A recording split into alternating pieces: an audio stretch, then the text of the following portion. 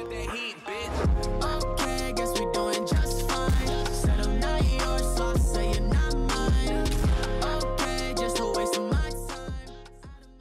What is going on guys? Welcome back to another FX item shop prediction video. Don't forget to like and subscribe to enter that next giveaway for 41k. Remember all you have to do is subscribe, like, and comment your epic as well as something positive. We got one item crack which was the tie-dye skins which were in the previous video uh, in the low chance section. Go ahead and check that video out if you do want proof. But we have some awesome information about the possibility of Kratos returning. At this point it's almost confirmed uh, and it basically should come out through simple logic.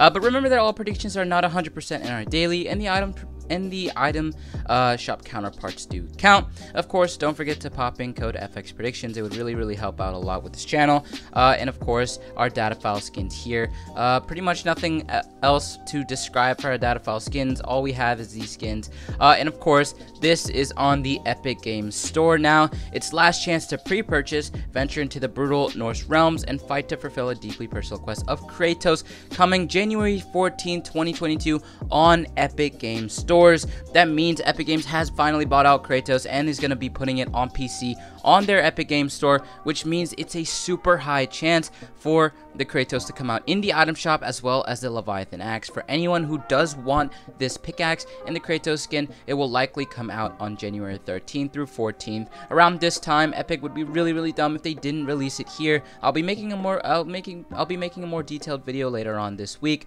about that release. Uh, of course, we have the Mogul Masters and the Soccer skins. These two skins are pretty low chance now, uh, but they were released around the same time exactly last year. If you guys look at the item shop from 2020, you'll see that they're most likely uh, going to be released around this time. Uh, Mogul Masters, of course, highest chance around either the 10th or the 12th, uh, and of course, Soccer skins near the end of the month. We're gonna start our super. We're gonna start off our featured items with the superhero skins, Scarlet Commander, and the Zadie skin. Henchman skin, uh, rate 6 out of 10, chance 50%, last seen 29 days ago. We have the Toon Meowscles and then Jordan bundle, rate 5 out of 10, chance 60%. With the Bright Bomber, last seen 32 days ago, rate 10 out of 10, chance 80% with the Flapjackie and Ruby skin, rate 8 out of 10, chance 90%, last seen 29 to 31 days ago. Isabelle and Infinity, rate 9 out of 10, chance 60%, last seen 33 to 36 days ago. Red Knight and Abstract, rate 10 out of 10, um, chance 70%. Uh, lasting 29 to 38 days ago.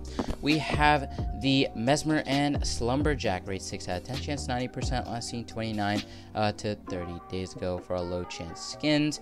Uh, we got the Echo as well as the Bloom skin, Etheria, Dreaded Omen, as well as the El Lion and the Eco skin for our daily items. We're gonna start off with the Starfish and as well as the Brute Navigator and the Arctic Assassin. We got the Renegade, Shadow Ops, and Recon Ranger rate 8 out of 10, chance 60%, lasting 30 to 34 days ago. Here are emotes. I also have a high, uh, there's a high chance that the Jabba Switchway as well as those the baby emotes will be coming out. Jabba Switchway and Go Mufasa. Guys, thank you so much for using my code. You guys are awesome. Remember, really, really helps out, especially with all these giveaways. If you guys did enjoy this video, don't forget to like and subscribe to enter that next giveaway for 30 uh, sorry for 41k and you guys anyways if you guys did enjoy this video uh, see you guys later and peace